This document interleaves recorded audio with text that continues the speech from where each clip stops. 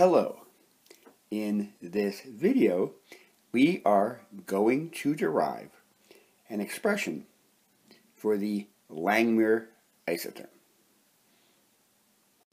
The Langmuir isotherm is used to describe the adsorption of gas molecules onto a surface, which is often a metal. Implicit in the Langmuir isotherm are a number of assumptions.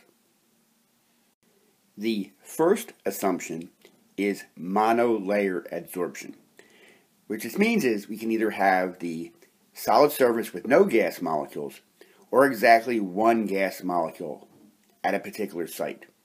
What we cannot have in this model is gas molecules piled one atop each other. The second assumption is that there are no adsorbate-adsorbate interactions. This means once the gas molecules have stuck to the surface, they have no effect on any neighboring gas molecules that happen to be stuck to the surface. And they also do not affect any incoming gas molecules.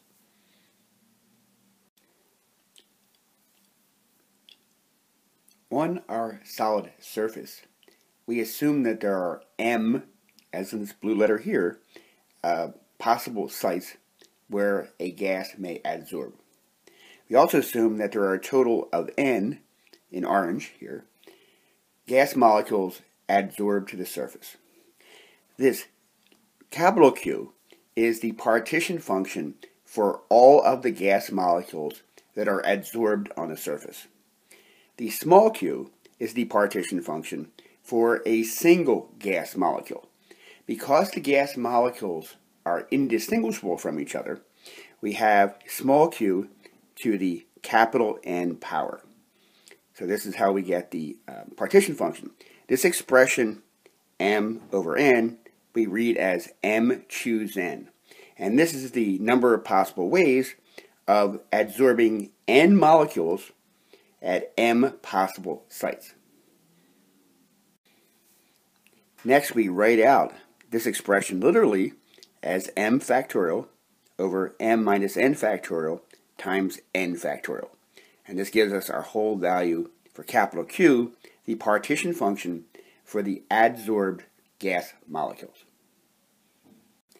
Next, we relate the Helmholtz free energy A and the partition function Q using the identity that A is equal to minus kt times the natural log of Q. Now we substitute our expression for Q into our expression for A and make some use of the properties of the natural log since we're taking the natural log of this expression.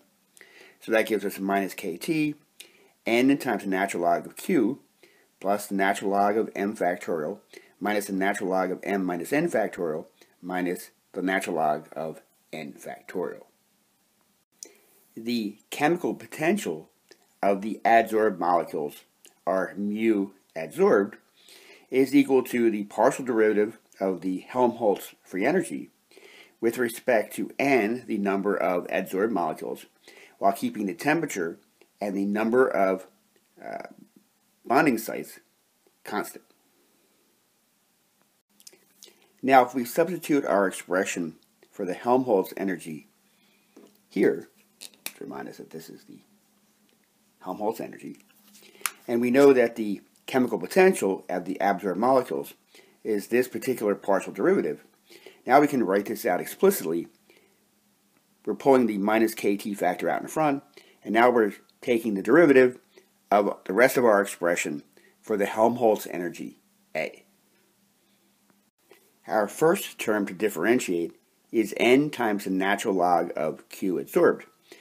Well, q adsorbed is not a function of n, so this acts like a constant, so we take the derivative with respect to n, we simply get the constant, the natural log of q adsorbed. Next, we take the derivative of the natural log of m factorial. But we recall in the definition for the um, chemical potential of the adsorbed molecules that the number of sites m is constant.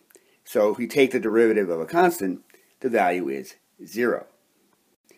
Next, we make use of Stirling's approximation for each of these two expressions here that involve the natural log of an expression factorial. One feature to keep in mind here is that when we apply Stirling's approximation and then take the derivative with respect to n, since we have this minus n here, we're going to get a change of sign from the minus sign to a plus when we write out our next expression. So this gives us a positive natural log of m minus n minus the natural log of n. Notice that using Stirling's approximation allowed us to, event, since we're taking the derivative, to get rid of the factorials from our expression.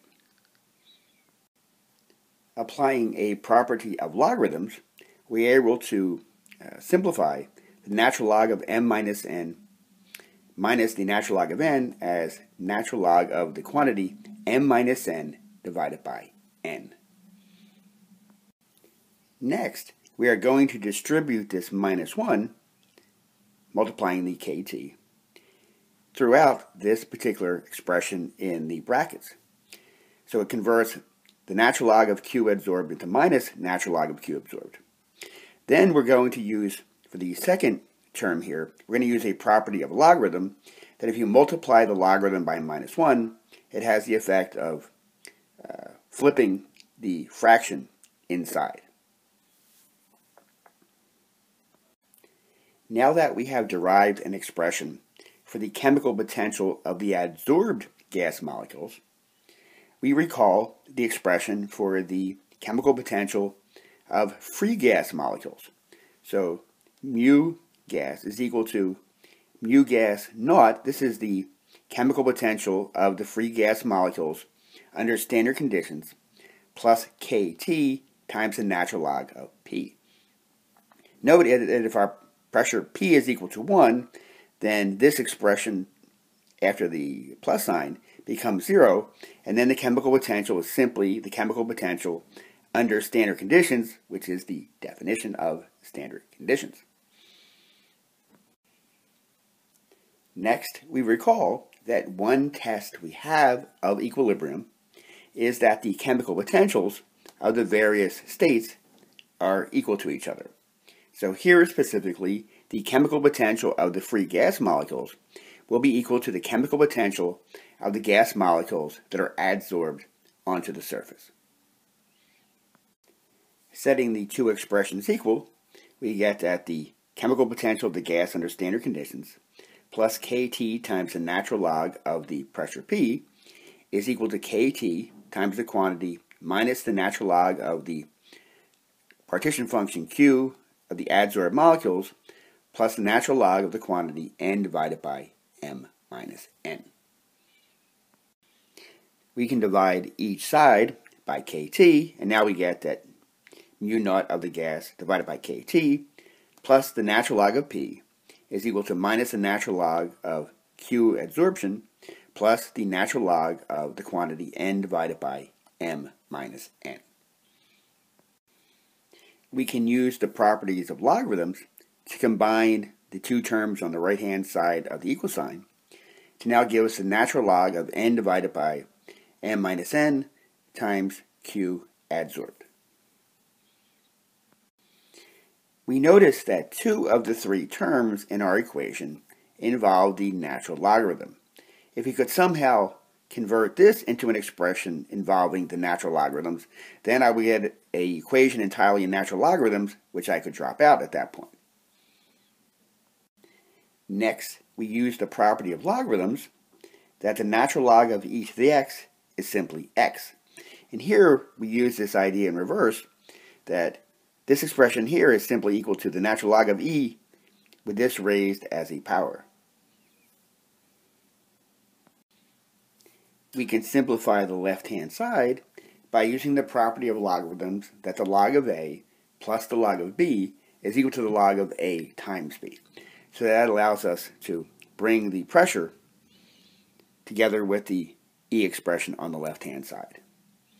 Now we notice that we have natural logs on each side. So if the natural log of A is equal to the natural log of B, then A must be equal to B.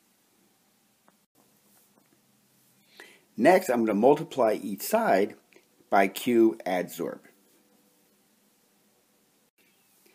Once we multiply through, we get that P times Q adsorbed is equal to E to the mu naught gas divided by KT power equals N divided by M minus N. This large quantity of terms on the left-hand side, everything after the pressure P, suggests that we make a substitution and assign a new variable B, which is equal to Q adsorbed times e to the mu naught of the gas divided by kT. A thing to keep in mind later is that this uh, new term B is a function of the temperature T.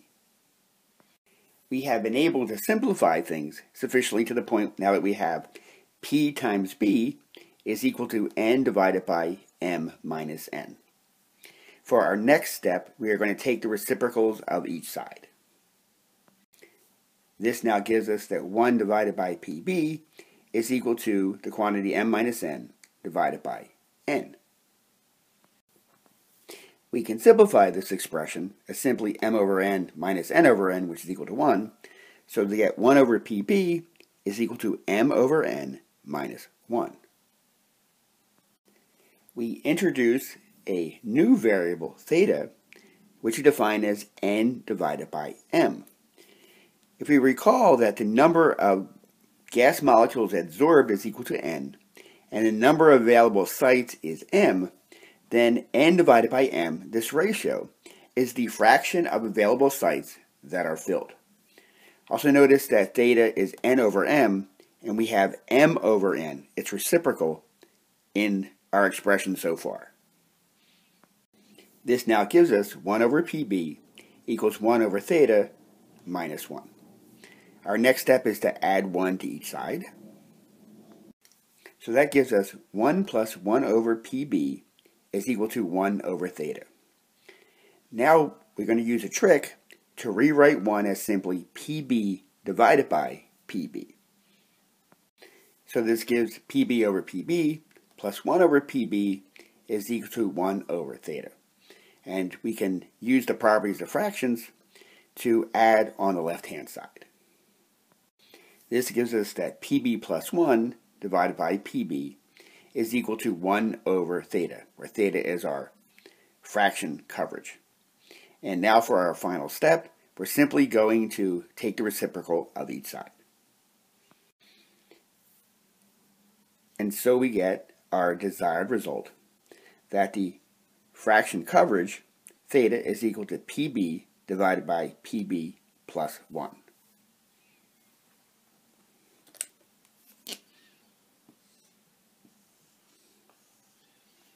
I thank you very much for your attention.